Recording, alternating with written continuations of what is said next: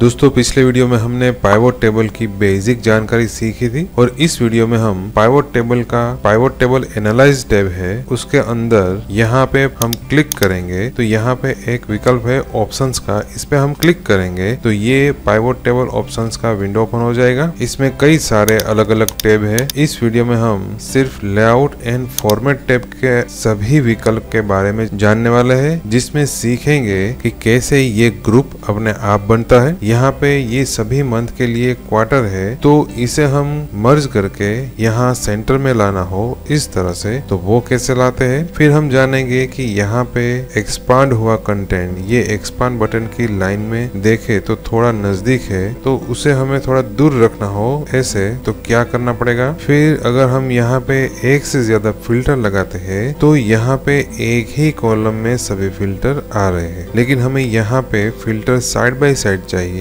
कुछ इस तरह से तो कैसे करना है वो जानेंगे। अगर हमारे सोर्स डेटा में कोई एरर हो तो वो एरर यहाँ पे भी दिखाई देगी। लेकिन हमें यहाँ पे एरर की जगह ब्लैंक या कुछ कस्टम मैसेज डिस्प्ले करना हो, इस तरह से तो वो कैसे करना है, वो भी हम सीखने वाले हैं। तो ऐसी बहुत सारी जानकारी है जो हम आज इस वीडियो में सीखने वाले हैं। तो आइए दोस्तों, आप है मिस्टर कोडिंग के साथ। साथ मिलकर कुछ नया सीखते हैं। दोस्तों वीडियो पार्ट नंबर 52 से हमने पाइवोट टेबल सीखना शुरू किया है। धीरे धीरे बहुत ही वेल प्लानिंग के साथ और बहुत ही बेहतरीन तरीके से हम पाइवोट टेबल के ये सभी ऑप्शन एग्ज़ाम्पल के साथ सीखने वाले हैं। दोस्तों, हमारा ये मानना है कि जब हम पाइवोट टेबल के सभी विकल्प सीख लेंगे, फिर आप डेटा एनालिसिस और डेटा रिप्रेजेंट का काम शुरू कर सकते हो। दोस्तों डेटा एनालिसिस का काम हो या डेटा रिप्रेजेंट करने के लिए इंटरेक्टिव डैशबोर्ड तैयार करना हो, उसके लिए पाइवोट टेबल आना बहुत ही ज़रूरी है। दोस्तों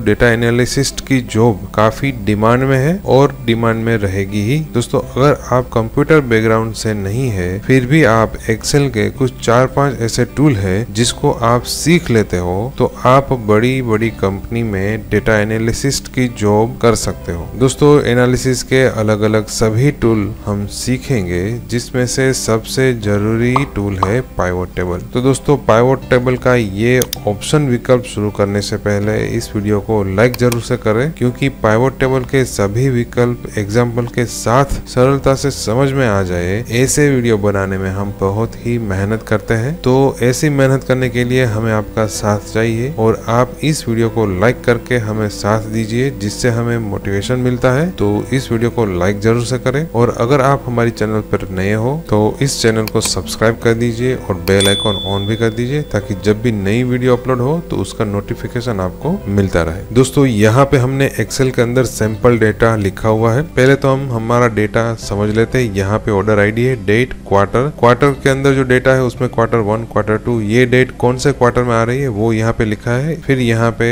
कस्टमर का नेम प्रोडक्ट की category sub category items quantity price total city country और रीजन ये इतने कॉलम दिए हैं। और यहाँ पे टोटल कितने रिकॉर्ड है, वो जानने के लिए हम यहाँ पे सिलेक्शन रखेंगे। कंट्रोल की प्रेस करेंगे और down side arrow key press करेंगे। तो यहाँ पे रो नंबर आ रही है 2340 तो यहाँ पे कई सारे रिकॉर्ड है। फिर से हमें पहले सेल में जाने के लिए कंट्रोल की प्रेस करेंगे और up side arrow key press करेंगे। तो पहले सेल में हम आ जाएँगे। अब ये सभी डेटा के लिए हमें पाइवोट टेबल तैयार करना है। तो हम क्या करेंगे? सिलेक्ट ऑल करेंगे, जिसकी शॉर्टकट की है कंट्रोल ए इंसर्ट में जाएँगे, यहाँ पे पाइवोट टेबल पे क्लिक करेंगे। तो जितना एरिया हमने सिलेक्ट किया है, वो रेंज यहाँ पे आ जाएगी। अब इसमें हमें पाइवोट टेबल नई एक्सेल सीट में तैयार करना है। इसलिए हम पहला विकल्प सिलेक्ट रखेंगे ओके बटन पे क्लिक करेंगे। तो देखिए दोस्तों, यहाँ पे नई एक्सेल सीट तैयार हो गई और इसमें यहाँ पे पावर टेबल भी आ गया। अब दोस्तों, यहाँ पे क्वार्टर का फ़ील्ड है, उसको उठा के हम यहाँ पे रोज में रखेंगे और फिर उसके ऊपर डेट है, उसको भी हम यहाँ पे उठा के क्वार्टर का फ़ील्ड है, उसके नीचे रखेंगे। तो देखिए दोस्तों, यहाँ पे क्वार्टर वन और उसके अंदर जितने भी डेट आ रही थी, वो सभी डेट यहाँ पे अपने आप ग्रुप में आ गई। मतलब कि हमारा जो सोर्स डेटा है, उसमें डेट इस तरह से दी हुई है। जब हमने ये डेट का फ़ील्ड पाइवोट टेबल के अंदर रखा तो वो मंथ के ग्रुप में आ गई। यहाँ पे हम ये जो प्लस बटन है, उस पर हम क्लिक करेंगे तो ये एक्सपांड हो जाएगी और इसमें जितनी जितनी डेट है, वो यहाँ पे दिखाई देगी। तो यहाँ पे क्या हुआ? जो डेट का फ़ील्ड हमने यहाँ पे रखा था, वो अपने आप मंथ के ग्रुप में आ गया। तो यहाँ पे क्वार्टर वन के ये तीन month quarter two quarter three और क्वार्टर फोर सभी क्वार्टर के आगे ये बटन दिया है, उस पर हम क्लिक करेंगे तो क्वार्टर वन के सभी मंथ है वो क्वार्टर वन के अंदर चले जाएँगे। फिर से हमें एक्सपांड करना हो तो यहाँ पे फिर से हम क्लिक करेंगे तो वो एक्सपांड होके आ जाएँगे। अब जो ये रीजन का फ़ील्ड है, उसको हम कॉलम्स में रखेंगे तो यहाँ पे सभी रीजन के नाम आ गए, और फिर से हम यहाँ पे रीजन को उठा के वैल्यूज़ में रखेंगे तो हमें यहाँ पे ये मिल जाएगा कि कौन से रीजन में, कौन से क्वार्टर में कितना सेल हुआ है। तो ये हमने अलग अलग फ़ील्ड रख पावर टेबल बना लिया। अब दोस्तों, ये जो पावर टेबल का व्यू है, वो डिफ़ॉल्ट व्यू है नॉर्मल व्यू है। इसको हमें क्लासिक व्यू में डिस्प्ले करना हो तो कैसे करेंगे? यहाँ पे पावर टेबल एनालाइज के अंदर यहाँ पे पावर टेबल का ऑप्शन है, उस पर हम क्लिक करेंगे तो यहाँ पे एक विकल्प आ रहा है ऑप्शंस का। दोस्तों, आपके एक्सेल में शायद ये ऑप्शंस का विकल्प बाहर ही हो तो वो आपको देख लेना है। यहाँ पे हम क्लिक करेंगे तो ये पावर टेबल ऑप्शंस का विंडो ओपन हो जाएगा, जिसमें आपको डिस्प्ले में जाना है और यहाँ पे एक विकल्प है क्लासिक पावर टेबल लेआउट तो इसको आपको सिलेक्ट कर लेना है। फिर ओके बटन पे क्लिक करना है। तो देखिए दोस्तों, आपका जो पाइवोट टेबल है, वो क्लासिक व्यू में आ गई। यहाँ पे आप देखोगे तो क्वार्टर की अलग कॉलम है मंथ की भी अलग कॉलम है। जब क्लासिक व्यू नहीं था तो इस तरह से एक ही कॉलम में ये सब आ रहा था। जब हमने क्लासिक व्यू अप्लाई कर दिया तो ये दोनों अलग अलग कॉलम में आ रहे हैं। अब दोस्तों, यहाँ पे हम देखेंगे तो क्वार्टर वन लिखा है, वो ये तीन मंथ के लिए है। तो हमें यहाँ पे ये तीनों सेल को मर्ज करके क्वार्टर वन को यहाँ पे लिखना है। तो उसके लिए क्या करना है? पावर टेबल में जाएँगे, यहाँ पे ऑप्शन पे क्लिक करेंगे तो ये विंडो ओपन हो जाएगा। दोस्तों, ये पावर टेबल ऑप्शन का विंडो आप राइट क्लिक करके भी ओपन कर सकते हैं। कैसे करना है? आपको पावर टेबल पे राइट क्लिक करना है और यहाँ पे पावर टेबल ऑप्शन का एक विकल्प है, उस पर आप क्लिक करोगे तो वही विंडो यहाँ पे फिर से ओपन हो जाएगा। अब दोस्तों, यहाँ पे लेआउट के अंदर पहला ऑप्शन है merge and centre cell with label तो इसको आपको सिलेक्ट करना है, ओके बटन पे क्लिक करना है। तो देखिए दोस्तों, यहाँ पे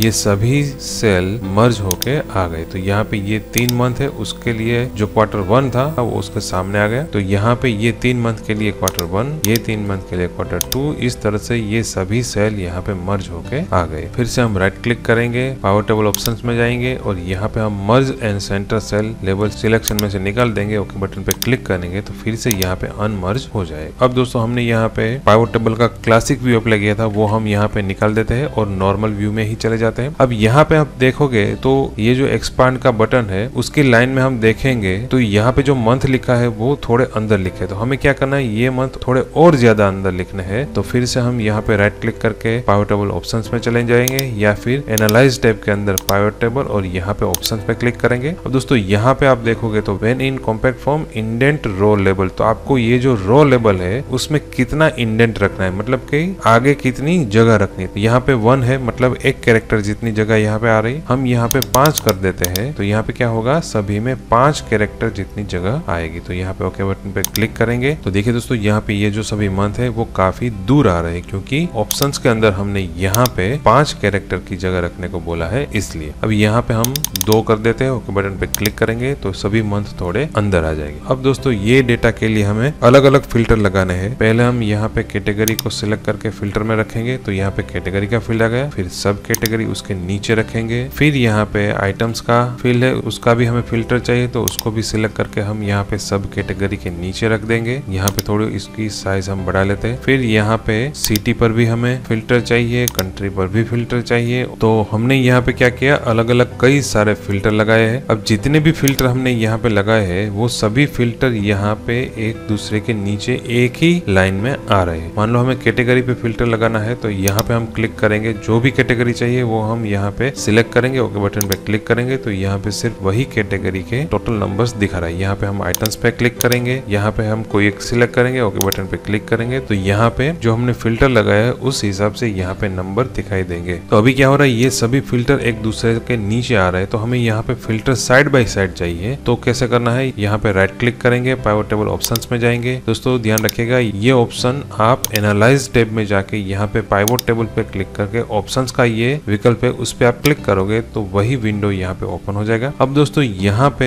एक ऑप्शन है रिपोर्ट फ़िल्टर फील्ड्स पर कॉलम तो आपको यहाँ पे पर कॉलम कितने फ़िल्टर चाहिए? तो हम यहाँ पे कहेंगे, हमें पर कॉलम दो ही फ़िल्टर चाहिए। बाकी के फ़िल्टर कहाँ पे आना चाहिए? बाकी के फ़िल्टर साइड में आना चाहिए। तो हम यहाँ पे दो रखेंगे ओके बटन पे क्लिक करेंगे। तो देखिए दोस्तों, दो फ़िल्टर यहाँ पे, फिर दो फ़िल्टर यहाँ पे, फिर एक ही फ़िल्टर बचा तो वो यहाँ पे आ गया। तो इस तरह से दोस्तों, आप फ़िल्टर को साइड बाय साइड भी रख सकते हो। दोस्तों, यहाँ पे जो फ़िल्टर का ऑर्डर है, वो किस तरह से है? यहाँ पे जो हमने पहले फ़िल्टर रखा है, वो यहाँ पे आ रहा है पहले, उसके नीचे सब कैटेगरी है तो यहाँ पे दूसरे नंबर पे सब कैटेगरी फिर तीसरे नंबर पे आइटम तो वो यहाँ पे आ रहा है, फिर सिटी तो वो यहाँ पे आ रहा है। तो ये जो ऑर्डर है, यहाँ पे जिस तरह है टॉप टू बॉटम ही आ रहा है। हमने एक कॉलम में दो फ़िल्टर लगाए हैं इसलिए बाकी के फ़िल्टर दूसरी कॉलम में जा रहे हैं। वहाँ पर भी टॉप टू बॉटम का ही ऑर्डर है। तो ये ऑर्डर हमें टॉप टू बॉटम का चेंज करके साइड बाय साइड करना है। मतलब कि कैटेगरी यहाँ पे और ये सब कैटेगरी यहाँ पे, फिर आइटम यहाँ पे और फिर कंट्री यहाँ पे। तो ये ऑर्डर हमें साइड बाय साइड चाहिए। तो उसके लिए क्या करना है? फिर से आपको टेबल ऑप्शन ओपन कर लेना है। और यहाँ पे डाउन देन ओवर है, उस पर क्लिक करके आपको over then down option select करना ओके बटन पे क्लिक करेंगे। तो देखिए दोस्तों, यहाँ पे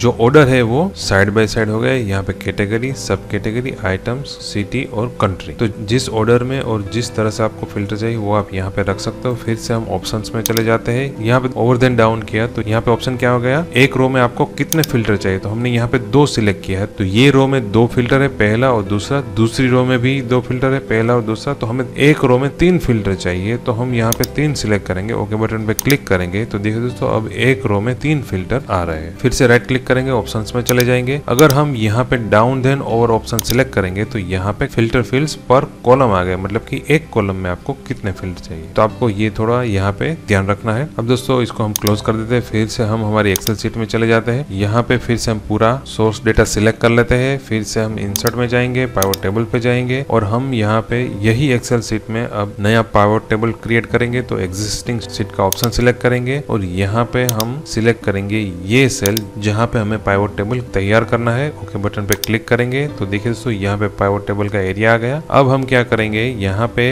इसकी साइज़ थोड़ी हम ज़्यादा कर देते हैं। यहाँ पे रीजन लेंगे और यहाँ पे हम सभी रीजन में टोटल कितनी अमाउंट का सेल हुआ है, वो हम वैल्यूज़ में रखेंगे ताकि यहाँ पे टोटल आ जाए। अब दोस्तों, कई बार क्या होता है? यहाँ पे ये जो सोर्स डेटा है, उसमें कई बार एरर होती है। मान लो हम यहाँ पे करेंगे equal to price divide by zero enter की प्रेस करेंगे तो देखिए दोस्तों, यहाँ पे एक्सेल ये एरर शो कर रहा है। तो अब हम यहाँ पे हमारे पाइवट टेबल में जाएँगे पाइवट टेबल एनालाइज में जाएँगे और यहाँ पे इसको हम एक बार रिफ्रेश कर देते हैं। तो देखिए दोस्तों, यहाँ पे ये जो रिकॉर्ड है, वो एशिया रीजन में है, जिसमें एरर दिखाई दे रही है तो वो एरर यहाँ पर भी आ रही है। तो अब हमें क्या करना है, यहाँ पे एरर डिस्प्ले नहीं करनी है। जहाँ पर भी एरर हो, वो सेल ब्लैंक रहना चाहिए, उसमें कुछ भी आना नहीं चाहिए। तो हम क्या करेंगे, इस पे राइट क्लिक करके ऑप्शन में चले जाते हैं और यहाँ पे एक विकल्प है फॉर एरर वैल्यू शो तो इसको हम सिलेक्ट करेंगे। अगर आपको जहाँ जहाँ पे एरर हो, उसमें ब्लैंक ही आना चाहिए तो यहाँ पे ब्लैंक छोड़ दीजिए ओके बटन पे क्लिक करें। तो यहाँ पे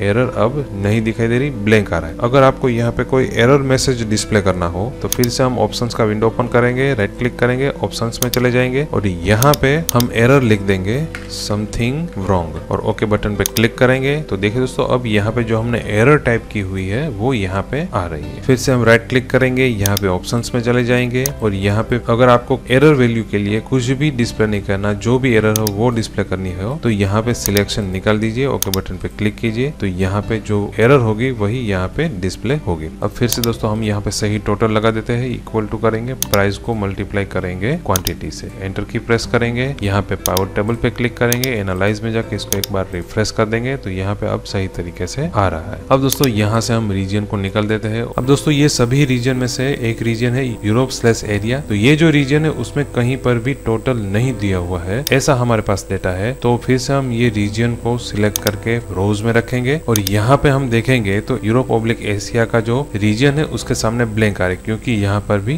ब्लैंक है। तो पाइवट टेबल में जब भी ब्लैंक सेल हो, वो ब्लैंक सेल की जगह पे हमें कुछ मैसेज डिस्प्ले करना है। तो कैसे करेंगे? इस पे राइट क्लिक करके ऑप्शन में चले जाते हैं। यहाँ पे दोस्तों, एक ऑप्शन है फॉर एम सेल शो तो यहाँ पे अभी सिलेक्ट ही है। एम सेल के लिए यहाँ पे एम ही रखा है। कुछ नहीं डिस्प्ले होना चाहिए, लेकिन हमें यहाँ पे मैसेज डिस्प्ले करना है तो यहाँ पे हम लिखेंगे no data available okay button पे क्लिक करेंगे। तो अब देखिए दोस्तों, यहाँ पे जो हमने मैसेज लिखा था, वो यहाँ पे डिस्प्ले हो रहा है। तो ब्लैंक सेल के लिए भी आप कस्टम मैसेज डिस्प्ले कर सकते हो। अगर आपको ब्लैंक ही रखना है तो ऑप्शंस में जाके यहाँ पे जो मैसेज हमने टाइप किया था, वो सब हम निकाल देंगे। ओके बटन पे क्लिक करेंगे तो यहाँ पे अब ये ब्लैंक आ रहा है। अब दोस्तों रीजन को हम फ़िल्टर में लगा देते हैं और यहाँ पे हम रोज में अलग अलग नेम रख लेंगे और यहाँ पे रीजन में हम फ़िल्टर लगाएँगे एशिया, ओके बटन पे क्लिक करेंगे तो ये सिर्फ़ एशिया के नाम ही आ रहा है। तो अब दोस्तों यहाँ पे आप थोड़ा ऑब्ज़र्व करेंगे तो हमने यहाँ पे एशिया रखा, अब हम यहाँ पे दूसरा कोई फ़िल्टर लगाएँगे, यूरोप, ओके बटन पे क्लिक करेंगे। तो देखिए दोस्तों यहाँ पे जो एक कॉलम की विथ है वो कम ज़्यादा हो रही है। जब हम यहाँ पे दूसरा कोई रीजन सिलेक्ट करके ओके बटन पे क्लिक करेंगे तो देखिए दोस्तों ये कॉलम की साइज़ कम हो गई। तो ये कॉलम की साइज़ ऑटो विथ में मतलब की यहाँ पे जो कंटेंट लिखा हुआ है, उसके हिसाब से ये कॉलम की विथ कम या ज़्यादा हो रही अगर हम यहाँ पे ये जो पहला नाम है, उसमें कुछ